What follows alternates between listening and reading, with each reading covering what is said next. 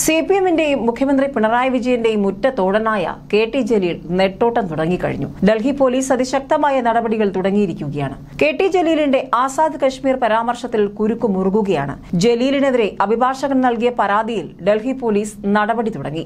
ജലീലിനെതിരായ പരാതി cyber crime വിഭാഗമായ ഇഫ്സോയ്ക്ക് കൈമാറി. നിയമോപദേശവും തേടിയിട്ടുണ്ട്.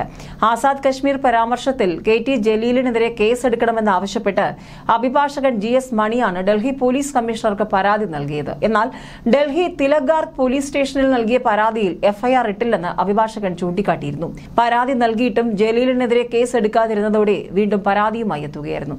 കേസ് കേസെടുത്തില്ലെങ്കിൽ ഏതറ്റം വരെ പോകുമെന്നും അദ്ദേഹം പറഞ്ഞിരുന്നു.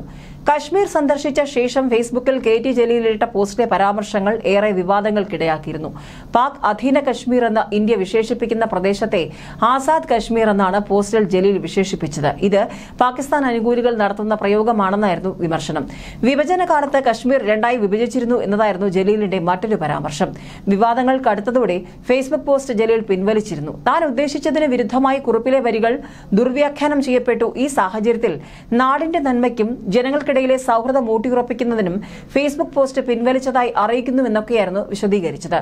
ആസാദ് കശ്മീർ പരാമർശത്തിൽ മുൻമന്ത്രി കെ ടി ജലീലിനെതിരെ നടപടി വേണമെന്ന് ആവശ്യപ്പെട്ടുകൊണ്ട് നിരവധി പേർ രംഗത്ത് വന്നിരുന്നു. മാത്യു കുഴൽനാടൻ എം എൽ എയും സ്പീക്കർക്ക് കത്ത് നൽകിയിട്ടുണ്ട്. നിയമസഭാ സമിതിയുടെ ജമ്മുകശ്മീർ പഠന പര്യടന വേളയിൽ രാജ്യത്തിന്റെ അഖണ്ഡതയ്ക്ക് വിരുദ്ധമായ പ്രസ്താവന സോഷ്യൽ മീഡിയയിലൂടെ നടത്തി നിയമസഭാ സമിതിക്കും നിയമസഭയ്ക്കും കെ ടി ജലീൽ അവമതിപ്പുണ്ടാക്കിയെന്നും നടപടി വേണമെന്നുമാണ് മാത്യു കുഴൽനാടനും കത്തിൽ ആവശ്യപ്പെട്ടിരിക്കുന്നത്. പരാമർശങ്ങൾ വിവാദമായപ്പോൾ താൻ ഉദ്ദേശിച്ചതിന് വിരുദ്ധമായി ദുർവ്യാഖ്യാനം ചെയ്ത ഭാഗങ്ങൾ കുറിപ്പിൽ നിന്നും ഒഴിവാക്കുന്നു എന്ന രീതിയിൽ ഒരു വിശദീകരണം കെ ടി ജലീൽ ഫേസ്ബുക്ക് പോസ്റ്റിലൂടെ നൽകിയെങ്കിലും കാര്യങ്ങളൊന്നും തൃപ്തികരമല്ലെന്ന് വിമർശനങ്ങൾ ഇപ്പോഴും ഉയരുകയാണ്.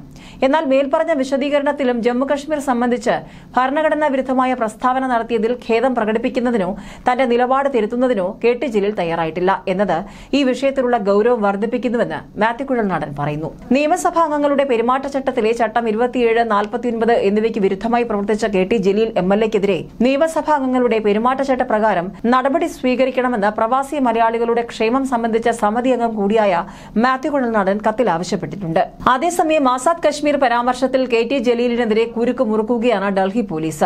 ജലീലിനെതിരായ പരാതി അന്വേഷണത്തിനായി സൈബർ ക്രൈം വിഭാഗമായ ഇഫ്- ഇഫ്സോയ്ക്ക് ഡൽഹി പോലീസ് കൈമാറിയിട്ടുണ്ട്.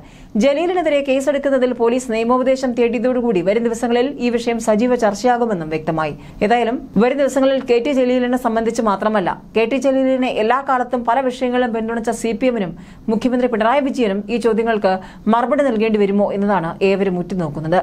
ന്യൂസ് ഡെസ്ക് മലയാളി വാർത്ത.